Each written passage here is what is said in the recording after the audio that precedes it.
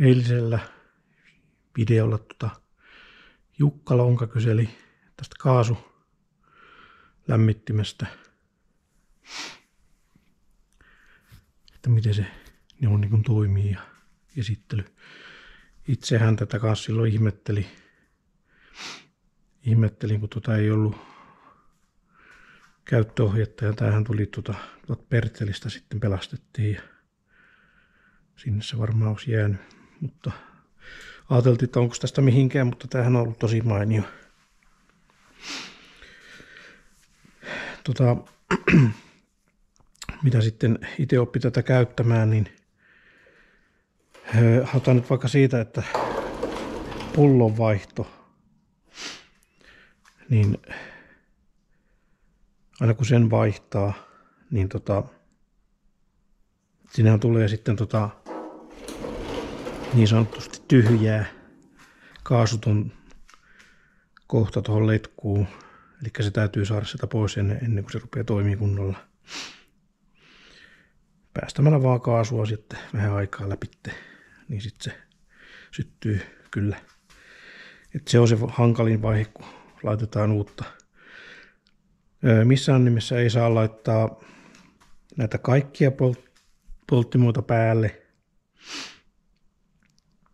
sytytysvaiheessa, vaan ensin avataan tätä hana täältä. Se nyt varmaan osaa tehdä ihan niin kuin pitääkin.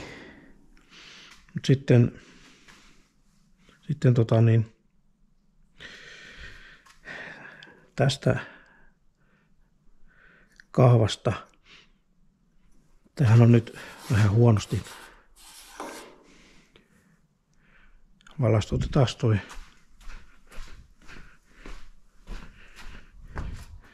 tuo tuo vaikka tuo nyt tuosta valoksiksi aikaa. Että. Eli vähän huonosti on merkitty kyllä nämä, kun ei ole niinku värjätty. Mutta tossahan se on niinku kiinni. Mutta tämä laitetaan tuohon ykkösasentoon pikkusen täytyy painaa, painaa, että se kääntyy ja pidetään tuossa ykkösessä. Ja tota, sitten painetaan alaspäin. Silloin lähtee tuo kaasu virtaan tuolta keskimmäiseen. Sitten painetaan pietsoa. Nyt se lähti heti ekalla kertaa. Sitten pidetään pohjassa jonkun aikaa jos päästään liian aikaisin, niin tuo turvamekanismi sammuttaa se. Sitten kun se on vähän lämmennyt hetken aikaa, niin sitten käännetään, edelleen painetaan pohjaa, käännetään vaikka sitten tuonne kolmoseen, niin sitten noin syttyy noin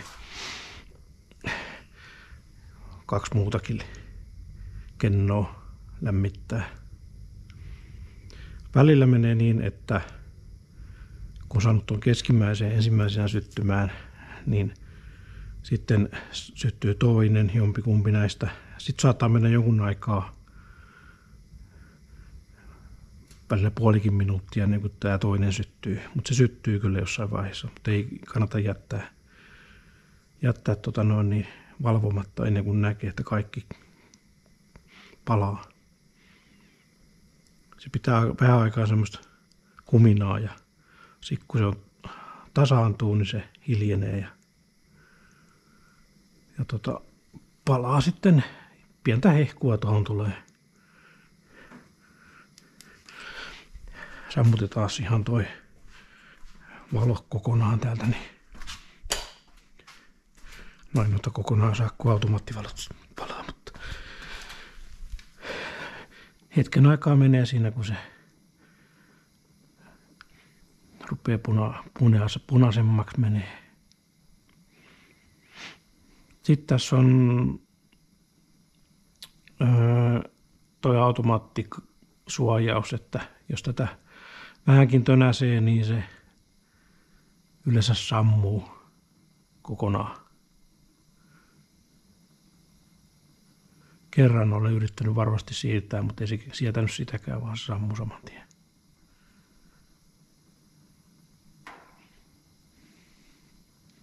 Onhan tämä kuitenkin hehkuva. Ja sitten on liekkiä, pientä liekkiä tuossa, niin vaarallinenhan se siinä mielessä on, jos vaikka on jotain paperia lentää siihen tai mitä vaan, syttyviä nesteitä, niin siinä mielessä on kyllä vaarallinen. Mutta aina on vaaratekijöitä. On, nyt se alkaa niin kuin jokseenkin olemaan semmoinen kuin normaalisti tuottaa lämpöä. Kysytäänkin verstaan tota no, niin lämpötilaa joskus. Riittää nostaa sen verran vaan, että ei tarvitse muuta. Kun ei mulla tää, täällä jatkuva lämmitys on nyt päällä ollenkaan. Että, että, että nyt täytyy säästellä sähkön kulutusta muutenkin. Sen takia tässä näitä lamppujakin hankittu uusia LED-lamppuja, että saadaan tuota kulutusta pienenee. Mutta tota, kaasu nyt on tällä hetkellä vielä kohtuu hintasta. Mikään ei tietenkään takaa sitä, että se lähtisi vaikka nousee. Jos se, va- se on nyt 25 euroa pullon vaihto. Ja kyllä tuolla aika kauan, nyt on kauheasti mittaa ottanut, sitä aikaa ottanut, että kuinka kauan tuo pullo kestää, mutta yleensä teen niin, että kun töistä tuun, pistän tuon heti päälle, juodaan emännän kanssa kahvit ja sitten tulen tänne touhuamaan mitä teen ja eilen ei taas oikein tullut lämmitettyä täällä ihmeemmin. Täällähän on nyt seitsemän astetta lämmintä. Että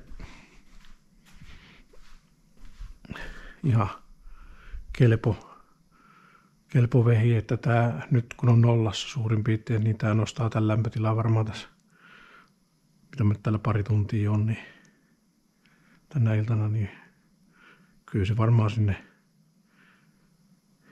8-9 asteeseen nousee.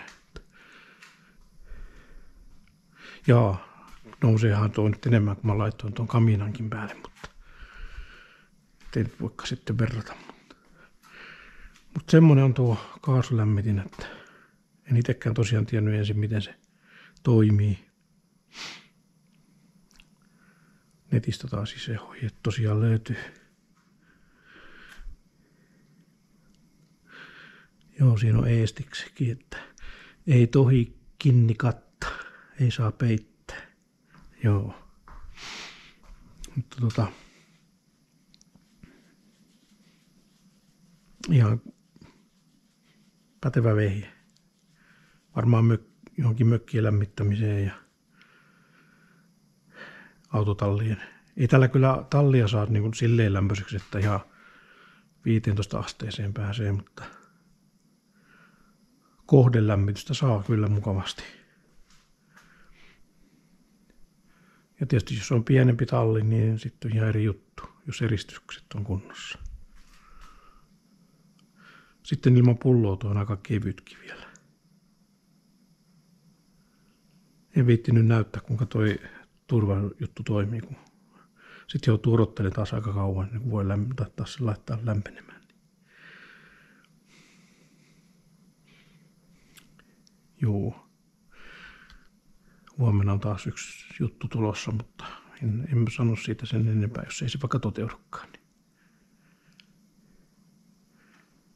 Imuri. Veden, eilen tota vesiä imuroittiin tuosta aika hyviä. Nyt, nythän taas tulee uutta, niin täytyy siitä imuroida pois vedet. Autollehan tämmöinen on rääkkiä, kun tuodaan tälleen plussan puolella olevaan talliin ja se ei ehdi kuitenkaan kuivua ja ruostuu vaan. Ja kaikkein paras on tietysti olisi, kun auto, jos olisi pakkasta, niin auto on ulkona. Siellä pakkasessa ei, ole, ei kastu, se on, no kyllä se vähän tietysti kosteutta tulee siinä, kun se auton kori vähän lämpenee, mutta ei moottori ja varrelaatikko lämmittää, niin jotain kosteutta sieltä kuitenkin tulee, mutta kyllä se pääsääntöisesti sitten pakkasen puolella se kori on, niin ei se ruoste etene niin vauhdikkaasti kuin että tälleen on lämpöisessä. Se pitäisi olla sitten oikein, että tehokuivatus pohjalle, niin siitä se olisi ehkä eri asia, mutta en tiedä siltikään. Joo, Helmahan mä tuosta vasemman puolen hitsasinkin viime katsastukseen, mutta onko sitten ensi kesä, ensi keväänä kun on katsastus taas, niin joutuuko hitsaille. Joo, mä tosiaan rupean nyt siivoamaan. Mä teen tuohon tilaa, tuosta lähtee vähän rojuu pois. Ja... Sitten, sitten katsotaan huomenna, onko, tuleeko video seuraavasta aiheesta.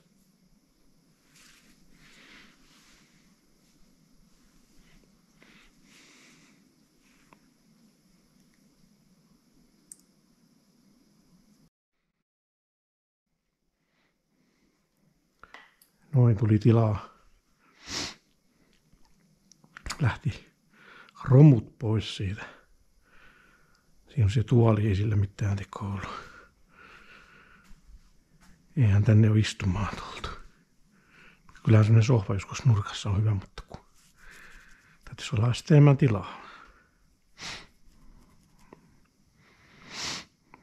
Joo, onhan tuolla tuo yksi tuolla sitten, missä saa istuskella, kun tutkii nettiä, mitä löytyisi ja missä on mitäkin vikoja ja niin edelleen. Mutta joo, nyt on tilaa siinä. Todennäköisesti tuo hiekkapuoluspallo menee sitten vielä tuonne kylmään tilaan. Sitä niin harvoin täällä taratti, että se voisi viedä, viedäkin pois. Vielä mikään kiire on, mutta ehkä sitten jossain vaiheessa. Joo, siinä on nyt tilaa sitten se huomiselle jutulle, jos, jos se toteutuu. Mielen tiedä. Harkitsen tän iltaa ja huomisen päivän. Tämä imurisysteemi tässä toimii ihan mukavasti. Vedet tuossa imuroittiin ja ei tarvitse sitten niin. Sitten jos tota paljon imuroitteen pölyä, niin ottaa tuon pitkän letkun, pitkän letkun tuosta ja tuon isomman imurin käyttöön, niin tarvitsee vaan suorati vaihtaa sitten sinne, mutta ei kun siis toistepäin. Pitkä letku siirretään tuohon, millä imetään sitten kaikki. Paljon tulee tuota pöly, pölystä imuroitavaa, niin tuo ja tuo sitten on, on tota, vain veden nimemiseen. Meinaa mennä sekaisin itsekin näiden kanssa, mutta tuolla nyt timuroittiin tuossa, kun putsasin tätä, pistin tuon lyhyemmälle kun siihen tilalle. Niin. Tuolla systeemillä nyt toimii ihan mukavasti tämä siisti lattioiden puhtaana pitäminen ja autojen imuroinnin. Oli oikeastaan ihan hyväkin, että se hajosi se edellinen vesiimuri. Tämä on ihan mukavan kokoinen hieman pienempi kuin tuo.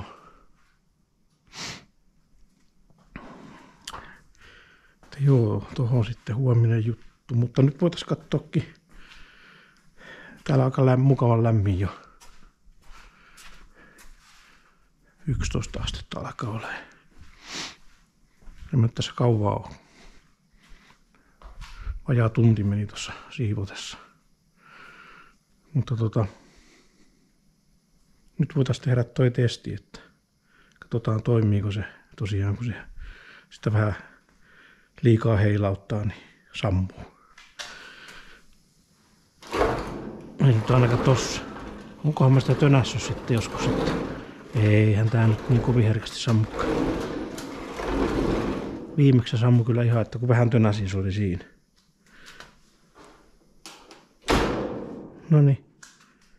Ei siis ihan liikuttelemalla ei sammu, mutta tolleen kun heilauttaa, niin sitten. Eli jos kaatuu tai muuta, niin se menee kiinni. Nyt sitten kuitenkin kokonaan kiinni ja päähana kiinni, niin se on siinä. Ihan kätevä laite. Aikoinaan kun oli noita kaasujuttuja, niin, niin ei niissä ollut tuommoisia suojauksia. Että ne vaan paluu ja paluu. Siltikin on aina epäilyttää.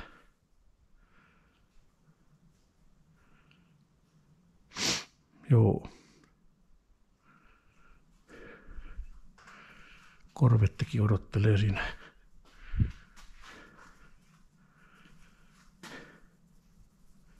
Vielä ei pääse sitä jatkamaan. Tuossa olisi Plasma TV. Me lahjoitetaan pois se. Ihan toimiva. 42 tuumaa, vai mitä toi oli? Sitä luokkaa. Ihan toimiva. Toimivat ei, että en lähetä postissa, mutta jos tulee noutamaan, niin saa tulla hakemaan.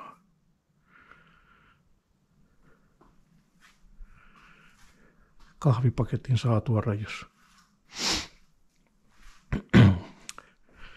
oma tunto vaivaa, mutta kyllä me annetaan se sitä ja voin sanoa, että painaa. Painaa ehkä enemmän kuin putkitelevisio. Tuossa joku halu Plasma TV, että toi vuodelta kaksi, oliko se 2008 vai 9, kun se osti. Se ei ole enää käyttöä sille. On ajatellut, jos sen tänne jonnekin käyttöön, laittaisi käyttöön, mutta ei ole. Ei mahu. Tai mahtuisi, mutta jos taas tonne, vaikka tonne, mutta kun tarvii niin kauhean jämerän telineen, että ei viitti ruveta virittelemään. Joo. Mitäs tässä muuta? Joo, ei kai tässä sitten. Katsotaan, onko sitten huomenna keskiviikkoiltana, että onko toho, tuleeko tuohon jotain erikoista. Tai nyt mitä erikoista on, mutta yksi juttu.